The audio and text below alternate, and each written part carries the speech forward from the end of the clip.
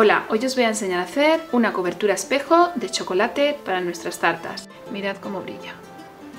Queda un acabado muy profesional y es muy sencillo de hacer. Vamos a empezar con la receta.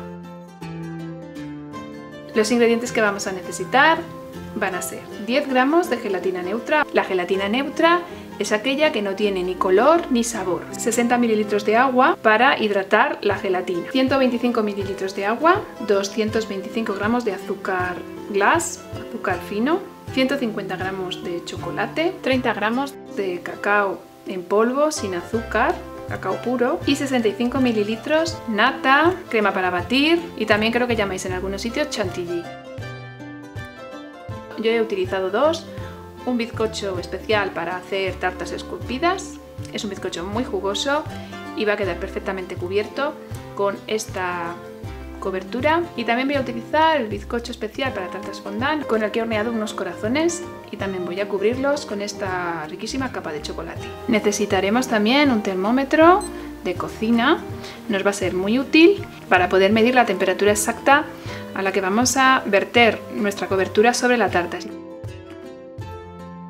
Vamos a hidratar la gelatina en los 60 ml de agua y la vamos a dejar reposar unos 5 minutos. Mientras tanto vamos a seguir preparando la receta con el resto de los ingredientes. En una olla vamos a empezar poniendo el azúcar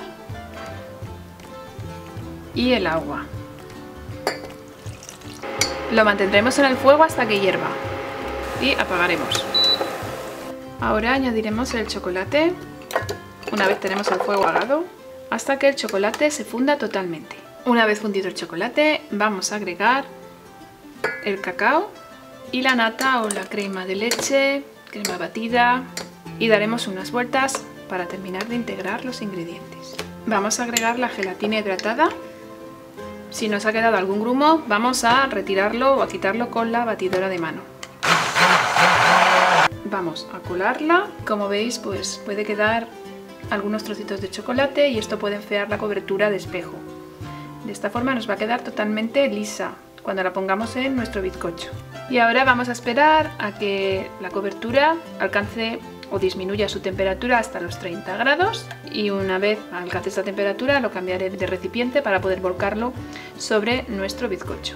Para verter la cobertura sobre nuestro bizcocho vamos a poner una bandeja. Voy a usar un mini expositor de tartas para poner el bizcocho. Pondré el bizcocho sobre el mini expositor, si no tenemos un mini stand, pues una taza, simplemente una taza colocando nuestro bizcocho sobre él. Según el tamaño de nuestro bizcocho utilizaremos una taza más grande, más pequeña, donde el bizcocho sobresalga, sobresalga del objeto que estamos usando. Podéis utilizar pues cualquier objeto que os sirva. Yo os pongo algunos ejemplos, porque de esta forma va a ser mucho más sencillo levantar la tarta y retirarla sin dañar la cobertura. Agitaremos un poco porque durante el reposo se crea como una especie de película. El bizcocho debe haberse refrigerado como mínimo media hora en el frigorífico para que esté frío cuando echemos la cobertura.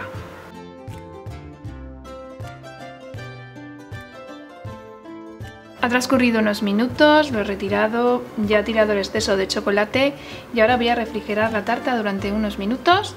También con una espátula he retirado un poco pues el chocolate que había quedado colgando y ha quedado muy bien cubierta la tarta. Voy a refrigerarla y después la voy a decorar. Ahora voy a hacer lo mismo con el bizcocho que he hecho con forma de corazón. Voy a tomar una taza y voy a darles la vuelta y poner sobre ellos el bizcocho.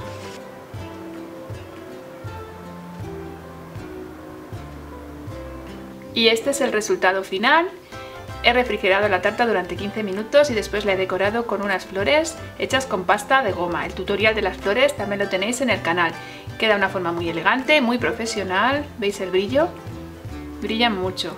Queda muy bonita la tarta. Espero que os haya gustado el tutorial, que le deis a me gusta, que os suscribáis al canal si aún no lo habéis hecho y gracias por estar ahí y hasta el siguiente vídeo.